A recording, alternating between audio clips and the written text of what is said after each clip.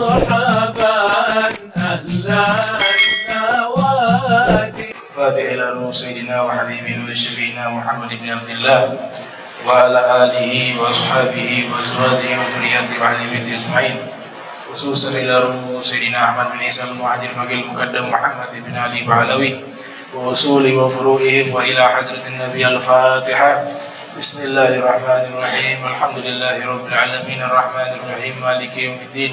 إياك نعبد وإياك نستعين اهدنا الصراط المستقيم صراط الذين أنعمت عليهم غير المغضوب عليهم ولا الضالين آمين. الفاتحة إلى روح Nur Lailah binti Ibrahim Ibu Dharma Hakim Al-Habib Mustafa bin Ja'far Sedang وإلى حضرة النبي الفاتحة. بسم الله الرحمن الرحيم الحمد لله رب العالمين الرحمن الرحيم مالك يوم الدين إياك نعبد وإياك نستعين صراط الذين أنعمت عليهم اللهم اغفر لهم وارحمهم وعافهم واعف عنهم وأكرم نزولهم واسع مدخلهم واكسرهم بالماء والثلج والبرد ونقيهم من الخطايا كما ينقى الثوب الأبيض من الدنس. اللهم أبدلهم دارا خيرا من دارهم وأهلا خيرا من أهلهم وزوجا خيرا من زوجهم وأدخلهم جنته وقهم من فتنة كبر وعذابه ومن عذاب النار. آمين يا رب العالمين. صلى الله عليه وسلم. محمد وعلى آله وصحبه وبارك وسلم. والحمد لله رب العالمين. Bismillahirrahmanirrahim. Assalamualaikum warahmatullahi wabarakatuh. Innal hamdalillah nahmaduhu hamdan yaliku bi jamalihi wa nasta'inuhu isti'ana taliku bi kamalihi wa nastahdihi hidayata man aqarra bi 'azamatihi wa jalalihi wa nusalli wa nusallim 'ala an-nabiyil mustafa wa alihi أما بعد. سبحانك لا علم لنا إلا ما علمتنا إنك أنت العليم الحكيم. ربي اشرح لي صدري ويسر لي أمري واحلل عقدة من لساني يفقه قولي وسر لساني واهدي قلبي بحق سيدنا محمد صلى الله عليه وبارك وسلم. يا من هو في علوه كائن يا من هو في في الحميد يا من هو في مدينة اللهم أكرمنا بنور الفهم وأخرجنا من ظلمات الوهم وارزقنا فهم النبيين. وحفظ المرسلين وإلهام ملائكة المقربين. ربنا زدنا علما وفهما وعقلا يا أكرم الأكرمين. بحق سيدنا محمد خاتم الأنبياء والمرسلين. يا رحمن يا رحيم. وصلى الله على سيدنا محمد وعلى آله وصحبه وبارك وسلم. والحمد لله رب العالمين. Alhamdulillah. Puji syukur kehadirat Allah Salawat dan salam Senantiasa kita curahkan kepada junjungan mulia Nabi kita tercinta Sayyiduna wa maulana Muhammad Sallallahu alaihi wa alihi wa wasallam. Beserta segenap keluarga beliau Sahabatnya dan umatnya. Kesempatan Di malam hari ini Kita akan Membahas sedikit tentang bulan Sya'ban. Karena bertepatan saat ini kita sudah berada di bulan Sya'ban. Mungkin tanggal 4 apa 5 Sya'ban saat ini. 4 atau 5 Sya'ban. Nah, bulan Sya'ban sebagaimana yang kita ketahui termasuk bulan yang mulia. Sama seperti bulan-bulan lainnya yang memiliki kemuliaan. Nah, secara garis besar Allah Subhanahu wa taala ketika menciptakan waktu Allah berikan beberapa waktu itu istimewa. Seperti Ashharul Hurum. Bulan-bulan yang dimuliakan oleh Allah Subhanahu wa taala. Dzulqa'dah, Dzulhijjah, Muharram, Rajab. Dan ada yang mulia karena memang Allah Ta'ala jadikan bulan itu mulia atas kehendaknya Allah. Dan juga ada yang mulia karena sebab di dalam waktu tersebut terjadi peristiwa-peristiwa bersejarah yang memiliki nilai kebaikan di dalam sejarah Islam. Nah, bulan Sya'ban termasuk daripada bulan yang memiliki banyak peristiwa bersejarah di dalamnya. Al-Imam Al-Baihaqi seorang ulama hadis lahir tahun 384 Hijriah wafat pada tahun 456 Hijriah. Beliau mengarang satu karya ilmiah yang membahas secara keseluruhan tentang keutamaan waktu. Kitab tersebut berjudul Fadailul Awqat yang artinya adalah keutamaan waktu. Al-Imam Al-Baihaqi di dalam kitab tersebut mencoba menjelaskan waktu-waktu yang istimewa di sisi Allah Subhanahu wa taala di dalam kitab tersebut secara komprehensif, secara luas. Kemudian ulama-ulama lainnya juga demikian. Sebagaimana yang kita ketahui, Al-Imam As-Suyuti seorang ulama ahli hadis kelahiran tahun 849 Hijriah, wafat pada tahun 911 Hijriah. Di dalam kitab hadisnya Al-Jami'us Shaghir Kemudian disyarah oleh Al-Imam Al-Munawi berjudul Faidul Qadir. Ada satu hadis mursal yang bersambung kepada Hasan Al-Basri. Jadi ini tidak sanatnya tidak bertemu sahabat tapi langsung kepada Nabi namanya hadis mursal.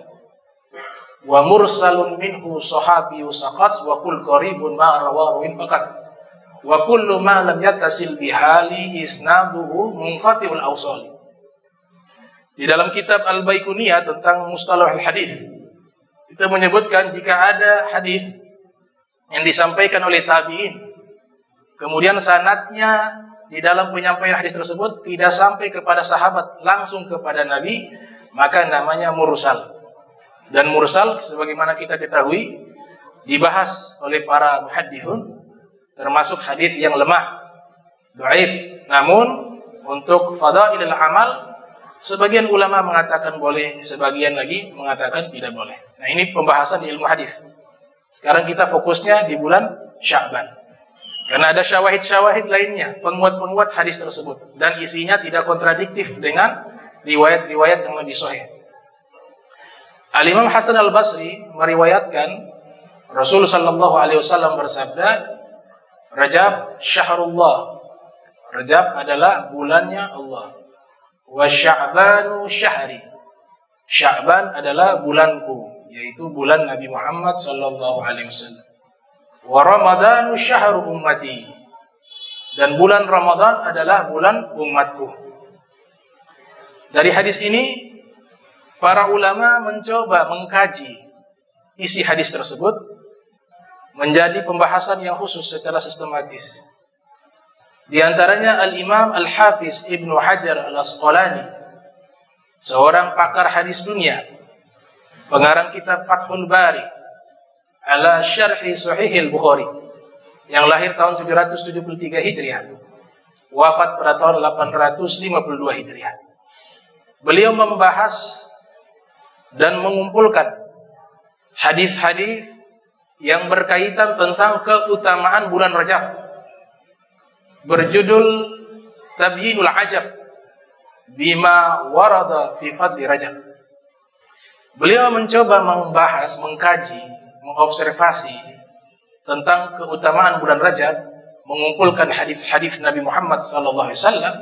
Ada sebagian yang lemah, ada sebagian yang sahih, ada sebagian yang palsu. Namun kesimpulannya bahwa bulan Rajab adalah bulan yang mulia. Kemudian setelah Rajab adalah bulan yang saat ini kita berada di bulan tersebut yaitu Sya'ban. Ada seorang muhaddis bernama Sayyid Muhammad ibn Alwi Al-Maliki. Juga demikian mengarang kitab khusus membahas tentang bulan Sya'ban. Judulnya Madza fi Sya'ban. Beliau juga seorang ahli hadis sehingga pembahasan tersebut juga mempresentasikan beberapa sanad hadis yang lemah, yang hasan, yang sahih dari keutamaan bulan Sya'ban.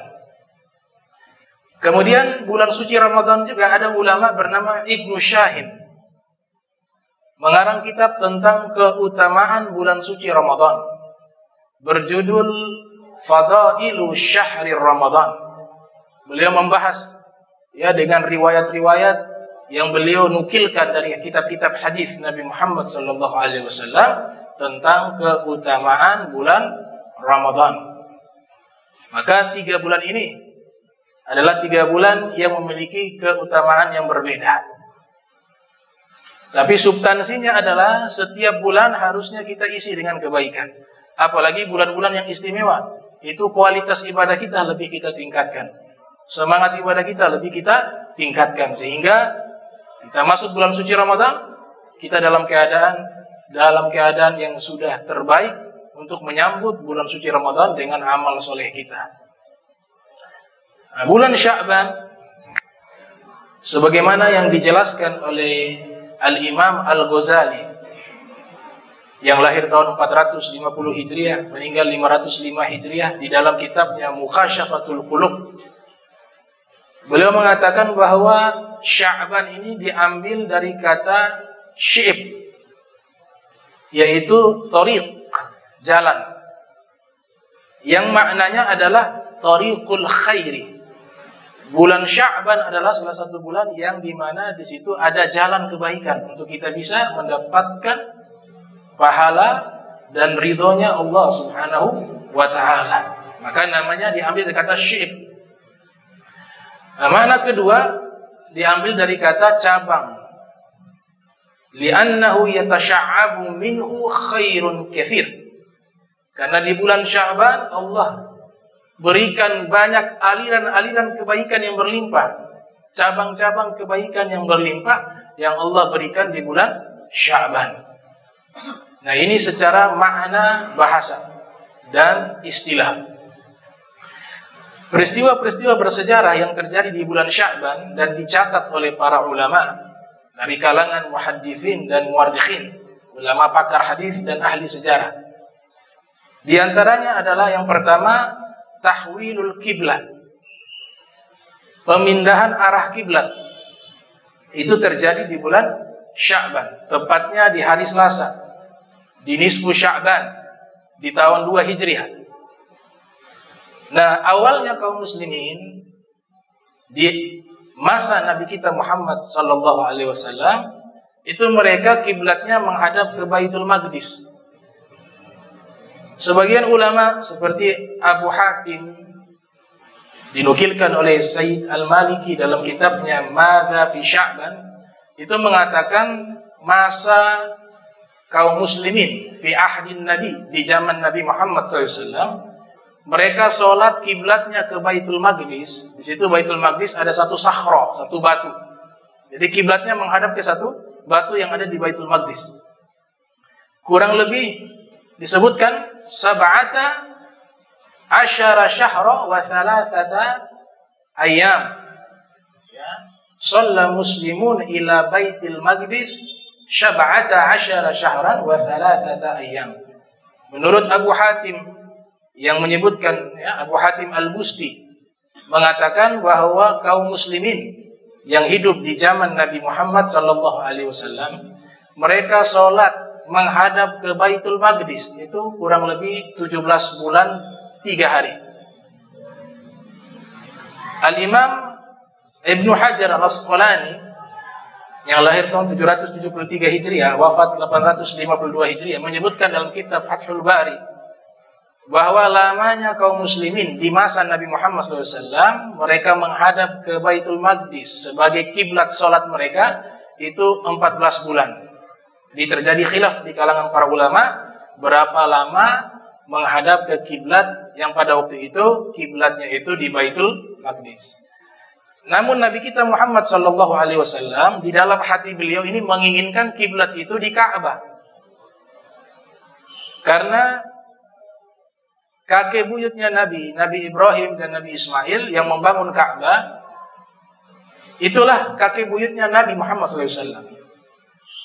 Sehingga Nabi SAW berharap agar Ka'bah tersebut atau kiblat tersebut dipindahkan ke Ka'bah. Dan belum dimunajatkan oleh Nabi, belum didoakan, belum diminta oleh Nabi. Jadi Nabi belum berdoa kepada Allah agar kiblat itu pindah ke Ka'bah, belum. Akan tetapi keinginan itu ada dalam hati Nabi. Sehingga Allah Ta'ala menurunkan ayat yang turun di bulan Sya'ban qad nara taqalluba wajhika fis sama'i falanuwalliyannaka kiblatan tardaha fawalli wajhaka syatra masjidil haram kami melihat itu Allah melihat engkau mengangkat wajahmu ke langit maknanya Nabi berharap Allah turunkan wahyu untuk memindahkan arah kiblat maka sekarang palingkanlah wajahmu ke kiblat yang engkau suka maka palingkanlah ke Ka'bah. Di dalam ayat Al-Quran disebut Masjidil Haram. Tapi maknanya adalah Ka'bah. Sebagaimana yang dijelaskan oleh sebagian ahli tafsir. Seperti Al-Imam Fakhruddin Ar-Razi. Yang lahir tahun 544 Hijriah. Wafat 606 Hijriah. Juga dijelaskan oleh Al-Imam Al-Bagawi dalam tafsirnya Ma'alimu Tanzil. Yang lahir 433 Hijriah. Meninggal 516 Hijriah. Jadi maknanya Ka'bah. Nah peristiwa tersebut terjadi di bulan Sya'ban. Lokasi tersebut dijadikan masjid namanya Masjid Kiblatain. Masjid dua kiblat. Karena satu kali sholat tapi arah kiblatnya berbeda. Yang pertama di Baitul Maqdis, yang kedua di Ka'bah. Nah, peristiwa tersebut terjadi di bulan Sya'ban. Tepatnya tahun 2 Hijriah di hari atau di hari Selasa nisfu Sya'ban nisfu Sya'ban. Dari ayat ini kita bisa simpulkan bahwa Allah Subhanahu wa taala begitu cinta kepada Nabi Muhammad sallallahu alaihi wasallam sehingga keinginan beliau yang tersembunyi dalam hati pun Allah kabulkan. Sehingga Sayyidatuna Aisyah istri tercinta Nabi wasallam sebagaimana dinukilkan oleh Al-Imam Bukhari dalam sahihnya yang lahir tahun 194 Hijriah wafat 256 Hijriah mengatakan ma rabbaka illa yusyari'u fi hawa. Tidaklah aku melihat Allah penciptamu wahai Nabi Muhammad melainkan pasti Allah akan segera mengabulkan seluruh keinginanmu jadi masih tersembunyi hawaka ini adalah keinginan yang masih tersimpan dalam hati saking cintanya Allah Saking mulianya Nabi Muhammad di sisi Allah Subhanahu wa taala belum meminta kepada Allah dengan lisannya lewat doa dan munajat masih tersimpan dalam hati Allah sudah kabulkan. Bagaimana kiranya kalau Nabi yang meminta dengan doa? Itu terjadi di bulan Sya'ban. Nah, peristiwa kedua yang terjadi di bulan Sya'ban yaitu raf'ul al-a'mal diangkatnya amal yang satu tahun yang punya amal ibadah ini ada yang setiap pekannya diangkat yaitu hari Senin dan hari Kamis. Yang tahunannya adalah di bulan Sya'ban. Sebagaimana hadis yang diriwayatkan oleh Imam An-Nasai yang lahir tahun 215 Hijriah, meninggal tahun 303 Hijriah di dalam sunannya. Nabi Muhammad SAW bersabda, "Dzaka syahrun yaghfulun nas minhu baina Rajab wa Ramadan wa huwa syahrun turfa fihi al-a'malu ila rabbil alamin wa uhib an yurfa amali wa ana Nabi bersabda bulan Sya'ban adalah satu bulan yang banyak dilalaikan oleh manusia karena dia berada antara bulan Rajab dengan Ramadan. Dan bulan bulan Sya'ban itu adalah bulan diangkatnya amal dan diserahkan kepada Allah Subhanahu wa taala. Maka saya ingin amalan saya diangkat saya dalam keadaan berpuasa kata Nabi Muhammad SAW. Maka salah satu amalan juga di bulan Syaban itu puasa sunnah. Bahkan diriwayatkan Nabi SAW puasa itu hampir sebulan penuh Syaban. Karena yasumu Syaban kullah. Dalam satu riwayat disebutkan Nabi biasa puasa Syaban kullah. Nah, dalam hadis ini terjadi pandangan yang berbeda di kalangan para fukaha tentang kesunahan puasa Sya'ban secara keseluruhan. Itu bisa dilihat di dalam kitab-kitab fikih. Peristiwa yang ketiga yang terjadi di bulan Sya'ban yakni tuqaddarul a'mar ditakdirkan atau ditetapkan ajal-ajal makhluk. Itu terjadi di bulan Sya'ban. Sebagaimana hadis yang diriwayatkan oleh Abu Ya'la di dalam kitab hadisnya Nabi SAW bersabda, Inna Allah yaktubu fihi ala kulli nafsin maitatin. Sesungguhnya Allah Ta'ala mencatat setiap jiwa orang yang akan meninggal di bulan Syaban tilka sana satu tahun penuh. Jadi di tahun itu kalau dia meninggal ditetapkan di bulan Syaban tilka sana. Fa'uhib maka aku Nabi Muhammad ingin ajali di saat ajalku tiba wa ana soim aku dalam keadaan berpuasa. Itu anjuran dari Nabi kita Muhammad sallallahu alaihi wasallam. Kemudian yang keempat, peristiwa yang terjadi di bulan Sya'ban yang keempat adalah turunnya ayat yang memerintahkan kita mengucapkan salawat dan salam kepada Nabi Muhammad sallallahu alaihi wasallam. Jadi perintah kepada umat Nabi Muhammad untuk bersalawat dan mengucapkan salam kepada Nabi Muhammad SAW. Ayat tersebut Allah turunkan di bulan Sya'ban, tepatnya di tahun 2 Hijriah. Nama suratnya itu adalah surat Al-Ahzab. Ya, surat Al-Ahzab. Allah Ta'ala berfirman, Inna Allah wa malaikatahu yusalluna ala nabi Ya ayyuhalladzina amanu sallu alaihi wasallimu taslima. Ini adalah ayat yang Allah turunkan di bulan Sya'ban di tahun 2 Hijriah untuk memerintahkan umat Nabi Muhammad SAW banyak mengucapkan salawat dan salam kepada Nabi. Sehingga Syekh Abdul Hamid Kudus, seorang ulama yang ada di Makkah, punya kitab berjudul Kanzun Najah wa Surur. Beliau mengatakan qala ba'dul ulama berkata sebagian ulama Rajab syahrul istighfar. Rajab adalah bulan istighfar. Wa Sya'ban syahrus salati ala nabil mukhtar. Sedangkan Sya'ban adalah bulan salawat kepada Nabi Muhammad sallallahu alaihi wasallam wa Ramadan syahrul Quran dan bulan Ramadan adalah bulan Al-Quran. Peristiwa yang kelima yang terjadi di bulan Sya'ban yaitu di malam nisfu Sya'ban. Allah Subhanahu wa taala memberikan pengampunan yang khusus di malam tersebut. Sehingga Imam Ali bin Abi Thalib karramallahu wajha Beliau mengisi waktunya ibadah sebulan penuh di bulan Sya'ban terlebih khusus di waktu nisfu, nisfu Sya'ban. Di malam nisfu Sya'ban. Beliau lebih meningkatkan ibadahnya di malam tersebut.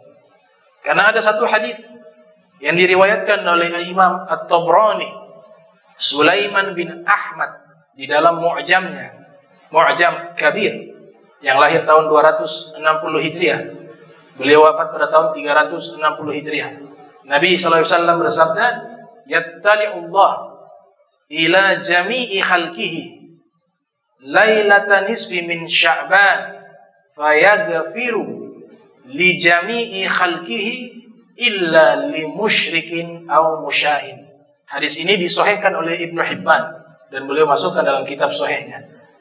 Nabi bersabda, Allah Ta'ala memberikan pengampunan khusus, rahmat yang khusus kepada seluruh makhluk di malam nisfu Sya'ban.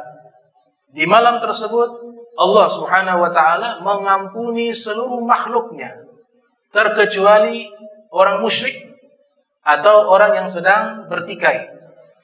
Di dalam kitab Kanzun Najah wa Surur ditambahkan riwayat mudminil khamr di malam tersebut Allah ampuni seluruh makhluk kecuali pecandu minuman keras yang belum bertobat. Ukukul walidain. Orang yang durhaka kepada kedua orang tua dan belum meminta maaf. Qati'ur rahim. Orang yang memutus tali silaturahmi. Nah mereka ini tidak mendapatkan pengampunan khusus tersebut di malam nisfu Sya'ban.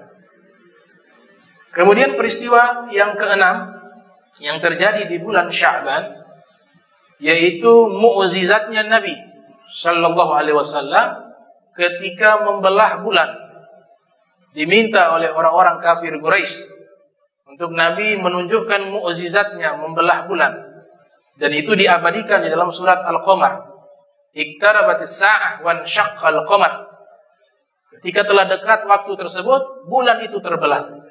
Al-Imam Al-Hafiz Ismail bin Umar bin Kathir yang lahir tahun 700 Hijriah, wafat pada tahun 774 Hijriah. Di dalam kitabnya Al-Bidayah wan Nihayah mengatakan Nabi membelah bulan sebagai bentuk mukjizatnya Nabi Muhammad SAW itu terjadi di bulan Sya'ban. Bahkan orang-orang yang tinggal di India menyaksikan peristiwa tersebut. Dan mereka menulis peristiwa tersebut kapan terjadinya, tanggal berapa, tahun berapa, ditulis di dalam satu lembar kertas, kemudian kertas tersebut diperbanyak dan dimasukkan ke dalam kuil-kuil yang ada di India. Nah, kertas tersebut berisikan tentang bukti nyata bahwa terbelahnya bulan itu persis dengan apa yang dilakukan oleh Nabi di kota Makkah. Dan sudah disebutkan oleh Ibnu Kathir di dalam kitabnya Al-Bidayah wan Nihayah. Peristiwa yang ketujuh yang terjadi di bulan Sya'ban khususnya di di malam nisfu Sya'ban disebutkan oleh Al-Imam Asy-Syaikh Jalil Abdul Wahhab Asy-Sya'rani seorang wali min auliyaillah, seorang allamah, seorang ahli hadis, ahli fikih yang ada di Mesir bernama Al-Imam Abdul Wahhab Sya'rani. Lahir tahun 898 Hijriah, meninggal 973 Hijriah. Di dalam kitabnya Al-Yawakid wal Jawahir. Jadi kitab tersebut adalah menyimpulkan seluruh isi kitab 9 jilid karya Ibnu Arabi berjudul Al-Futuhatul Makkiyah. Nah, kitab ini terlalu berat bagi kita untuk memahaminya. Jadi kitab ini tidak dianjurkan untuk dipelajari dan dibaca karena yang mengarang ini adalah orang yang istighraq. Dalam istilah ilmu tasawuf, mereka ini sudah masuk ke alam ekstasi, sudah tidak sadar. Karena sudah mencapai magom wali. Ibnu Qayyim, seorang ulama yang lahir tahun 691 Hijriah, meninggal 751 Hijriah, menyebutkan dalam kitabnya Madarijus Salikin. Jadi kitab Madarijus Salikin ini kurang lebih hampir 900 halaman. Hanya membahas tafsiran iya karena abudu wa karena nasta'in. Menghabiskan 900 lembar, hampir 900 lembar. Di dalam kitab tersebut, Ibnu Qayyim mengatakan seorang wali, orang yang dekat dengan Allah, ketika mereka sudah sampai ke magom yang tinggi, itu mereka mengalami fana, Fana itu wujudnya ada, tapi pikiran dan hatinya sudah tidak ada. Nah, fana ini ada tiga. Menurut Ibnu Qayyim, ada fana namanya al-fana an wujudi siwa. Jadi mereka sudah tidak melihat yang lain yang ada kecuali hanya Allah. Mereka hidup di dunia, ini manusia, kehidupan duniawi, manusia, hewan, dan segalanya yang ada di dunia mereka sudah tidak memandang itu. Mereka hanya menghadirkan hati bahwa yang ada hanya Allah. Itu namanya fana. Dan itu tidak sadar. Fana yang kedua namanya al-fana nah, al-fana an wujudillah. Itu yang pertama tadi ya, fana dari wujud Allah. Al-fana an syuhudil syuhudi siwa. Fana yang kedua adalah fana syuhud namanya. Jadi mereka melihat segala sesuatu di situ pasti ada Allah. Mereka melihat manusia, pikiran mereka, oh manusia ini makhluknya Allah. Mereka melihat itu anjing sekalipun, mereka tetap muliakan itu anjing. Kenapa? Karena yang mereka lihat ini anjing adalah ciptaannya Allah. Itu namanya asyuhud. Kemudian fana yang ketiga namanya al-fana an iradati siwa. Yaitu dia fana, dia ya masuk ke alam ekstasi, dia tidak sadar, itu dia hanya ingin melakukan sesuatu yang dikehendaki Allah Subhanahu wa taala. Nah, Ibnu Arabi termasuk ulama seorang wali yang masuk ke magom tersebut. Ke fana sehingga kitab-kitabnya itu tidak layak dibaca dan tidak layak dipelajari khususnya bagi orang awam. Karena ada ibarat-ibarat yang tidak dapat dipahami secara tekstual dan tidak bisa dipahami kecuali orang yang mengalami pengalaman spiritual. Al-Habib Abdullah Al-Haddad beliau mengatakan dalam kitab Risalatul Muawana bahwa di antara kitab yang beliau larang untuk dibaca adalah kitab Al-Futuhatul Makkiyah. Sembilan jilid kitab tersebut. Namun Al-Imam Abdul Wahab beliau berusaha menyimpulkan isi kitab tersebut dan mengsederhanakan penjelasan sehingga kita bisa paham. Beliau sudah peras, sudah seleksi, memeras makna-makna yang tersembunyi, makna-makna yang sulit dipahami. Nah, beliau simpulkan dengan bahasa-bahasa yang mudah dipahami sehingga kita beliau juga itu masih bisa untuk kita pelajari. Judulnya Al-Yawakid wal Jawahir. Itu adalah kitab yang menyimpulkan isi dan substansi kitab Al-Futuhatul Makkiyah. Al-Imam Abdul Wahab Sya'rani mengatakan di antara kejadian yang terjadi al-hawadith wal waqa'i' peristiwa dan kejadian yang terjadi di bulan Sya'ban yaitu lahirnya Imam Mahdi. Jadi Imam Mahdi itu menurut beliau lahir di bulan Sya'ban, tepatnya di malam nisfu Sya'ban. Itu terjadi di bulan Sya'ban, kelahiran Imam Mahdi. Nah, Imam Mahdi ini memang sekarang jadi laku, banyak orang mengaku Imam Mahdi. Padahal di dalam hadis-hadis Nabi Muhammad SAW, Imam Mahdi ini tidak pernah mengakui dirinya Imam Mahdi. Maka jika ada yang mengaku Imam Mahdi, maka dipastikan itu satu kedustaan. Karena Imam Mahdi sendiri tidak mengakui dirinya Imam Mahdi. Yang mengakui adalah para ulama yang soleh, para aulia. 313 orang dari kalangan solihin melantik beliau dan menobatkan beliau sebagai Imam Mahdi di kota Makkah Al-Mukarramah. Dan beliau itu pun menolak. Beliau tidak merasa diri beliau Imam Mahdi. Kemudian Imam Mahdi ciri-cirinya yang kedua adalah dari sisi nasab beliau bersambung kepada anak cucunya Nabi Muhammad SAW. Sebagaimana hadis yang diriwayatkan di dalam Sahih Muslim yang lahir tahun 209 Hijriah, meninggal 241 Hijriah atau 204 Hijriah, itu menyebutkan Al-Mahdi min zurriyati min auladi Fatimah. Ini hadis sahih riwayat Muslim.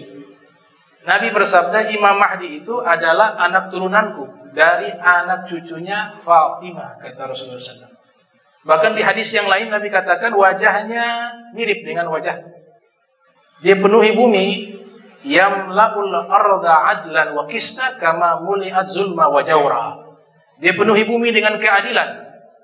Sebelumnya bumi ini dipenuhi dengan kezaliman, munculnya Imam Mahdi beliau rubah seluruhnya menjadi isinya keadilan dan seluruh manusia cinta kepadanya baik yang muslim ataupun non muslim karena waktu itu disebutkan dalam hadis Rasul SAW bersabda yamlikul arba kekuasaan beliau itu bukan hanya di jazirah Arab tapi dalam hadis Nabi isyaratkan yamlikul arba ia menguasai bumi jadi bumi ini dikuasai oleh Imam Mahdi nah, pada waktu itulah muncul Dajjal.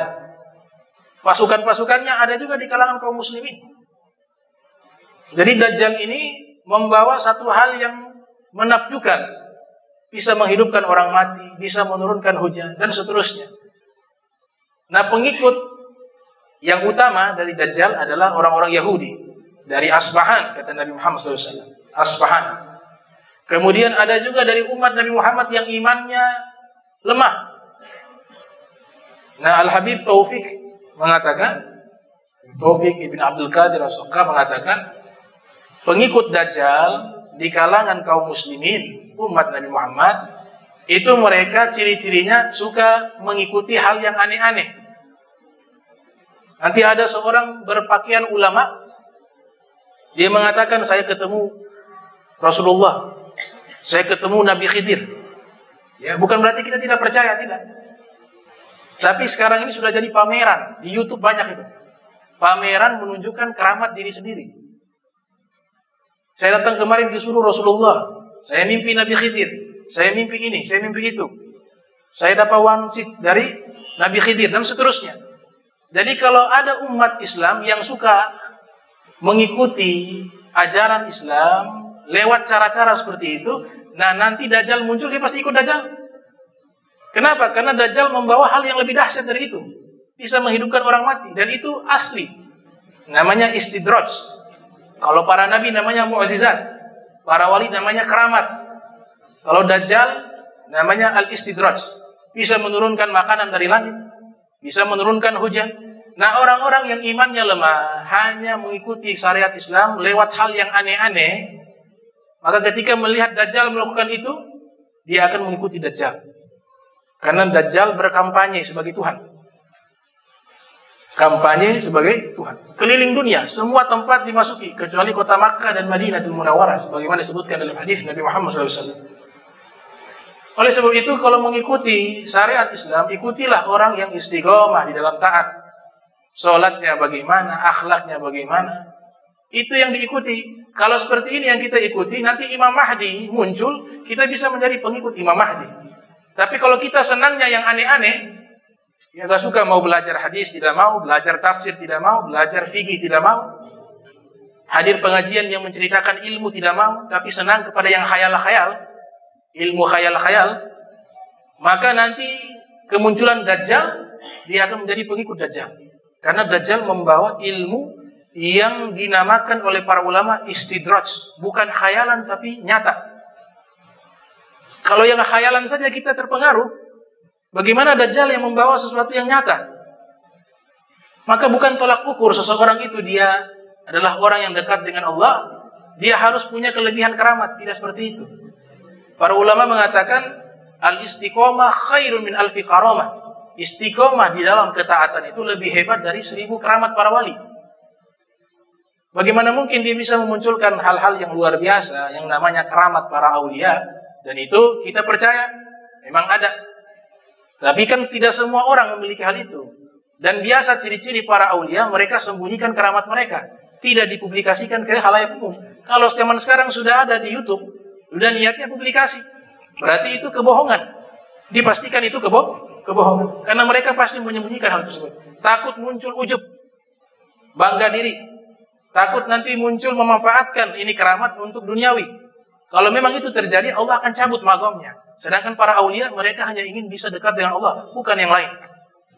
Oleh sebab itu, ini perlu kita pahami. Ya, kita pahami. Dan Dajjal luar biasa. Allah berikan kelebihan.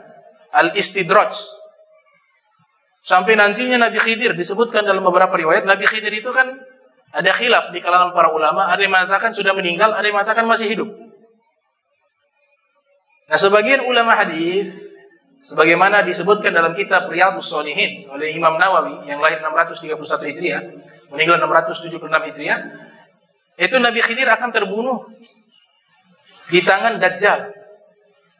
Sedangkan Dajjal akan terbunuh di tangan Nabi Isa. Jadi Nabi Isa yang membunuh Dajjal. Dan pengikut-pengikut Dajjal, ya orang-orang seperti itu. Orang Yahudi, ada orang Islam yang iman yang lemah, yang suka hal-hal yang khayal. Itu pasti ikut. Sehingga para sufi terdahulu, seperti Abu Yazid al-Bustami, Al-Imam Syafi'i, Al-Imam Junaid al-Bughdadi, sebagaimana disebutkan dalam kitab Siyar wa A'lami Nubala, yang ditulis oleh Al-Imam Zahabi, yang lahir 673 Hijriah, meninggal 748 Hijriah, mereka mengatakan bahwa kalau kalian melihat orang bisa jalan di atas air, kemudian kalian mampu melihat orang atau pernah melihat orang bisa terbang di atas udara, maka jangan tertipu dengannya. Tapi timbanglah dia, apakah yang dia lakukan di dalam kesehariannya sesuatu yang berisikan ketaatan kepada Allah mengikuti syariatnya Nabi Muhammad, orang yang berakhlak, orang yang baik, orang yang soleh. Maka itu bukan tolak ukur. Karena tukang sulap juga bisa. Tukang sulap bisa. Tukang sihir bisa. Dalam Al-Quran, sebelum peristiwa Al-Isra dialami oleh Nabi Muhammad SAW, Allah Subhanahu wa taala sudah membuat satu simulasi sederhana tentang peristiwa Al-Isra. Yaitu apa? Berpindahnya singgasana Ratu Balgis dari Yaman ke Palestina. Pindah di waktu yang sesaat. Sebagaimana diabadikan dalam Al-Qur'an, qala ayyuhal mala'u ayyukum ya'tini bi arsyiha qabla ya'tuni muslimin. Qala ifritun minal jin ana atika bihi qabla an taquma min maqamik wa inni alaihi laqawiyyun amin. Kata Nabi Sulaiman, wahai para pejabatku, wahai para pembesarku, Siapa di antara kalian yang bisa memindahkan singgasananya Ratu Balkis? Sebelum mereka datang ke tempat ini. Berserah diri kepadaku. Maka Ifrit, ada satu jin namanya Ifrit. Minal jin. Dia katakan, Wahai Nabi Sulaiman, aku bisa memindahkan singgasana Ratu Balkis sebelum engkau berdiri dari tempat dudukmu. Berarti singkat dan sesaat. Dan aku mampu melakukan itu, kata jin Ifrit. Nah ini jin juga mampu melakukan hal yang luar biasa. Memindahkan sesuatu, benda yang jauh, bisa datang ke tempatnya. Dengan waktu yang sesaat. Kalau hitungannya, sebelum engkau bangun dari berdirimu dari tempat berdirimu itu sudah terpindah itu sekian detik. Berkata orang kedua yang ada di samping Nabi Sulaiman, qala alladhi 'indahu 'ilmun minal kitab. Para ulama tafsir mengatakan ini adalah sepupunya Nabi Sulaiman, bukan nabi, bukan rasul, tapi seorang yang soleh, seorang wali min auliyaillah. Maka ini namanya bab keramat, bukan mukjizat. Kalau nabi baru mau mukjizat. Karena ini seorang wali, inilah salah satu dalil adanya keramat. Dan keramat lebih hebat daripada sihir. Maka dia katakan, saya bisa memindahkan atika bihi qabla ayyartadda ilaika torfuk. Sebelum kau mengedip mata, sehingga sananya lagi sudah pindah. Lebih cepat lagi. Dan itu benar-benar terjadi. Falamma ra'ahu mustaghirran indahu qala hadza min fadli rabbi. Maka tiba-tiba singgasana Ratu Balgi sudah pindah di hadapan Nabi Sulaiman. Nabi Sulaiman mengatakan ini karunia dari Allah Subhanahu wa taala. Nah, ini satu contoh simulasi Isra. Al-Isra. Kalau Nabi Muhammad yang berpindah bukan benda, tapi sosok Nabi Muhammad itu yang berpindah dari Makkah ke Palestina. Maka ini lebih hebat. Kalau Nabi Sulaiman yang pindah adalah benda sehingga sananya Ratu Balkis. Dari Yaman pindah ke Palestina. Nah ini beberapa ringkasan sejarah yang terjadi di bulan Sya'ban. Maka kita isi bulan Sya'ban ini dengan memperbanyak amal soleh. Ya, terutama uh, salawat dan salam kepada Nabi Muhammad SAW. Karena ini bulan yang dikhususkan juga perintah salawat kepada Rasulullah SAW. Kemudian juga nanti yang mau sempat puasa, puasa sunnah Sya'ban. Kemudian sholat-sholat sunnah ya dilakukan yang tadinya hanya lima waktu tambah sholat sunnah witir, sholat sunnah duha, sholat tahajud dan seterusnya. Mudah-mudahan Allah Taala terima seluruh amal kita, Allah ampunkan dosa kita, dan dipanjangkan umur kita di bulan suci Ramadan. Amin ya rabbal alamin. Allahumma jam'ana hadza jam'a marhuma. وتفرق من بعد تفرق معزوما ولا تجل منا ولا منا شكيا ولا محروما اللهم نفه قلوبنا عن التعلق ممنونا واجعلنا من قوم تحبهم يبون سبحانك وبحمدك اشهد ان لا اله الا انت استغفرك واتوب اليك وصلى على محمد وعلى اله وصحبه وبارك وسلم ولا منكم والسلام عليكم ورحمه الله وبركاته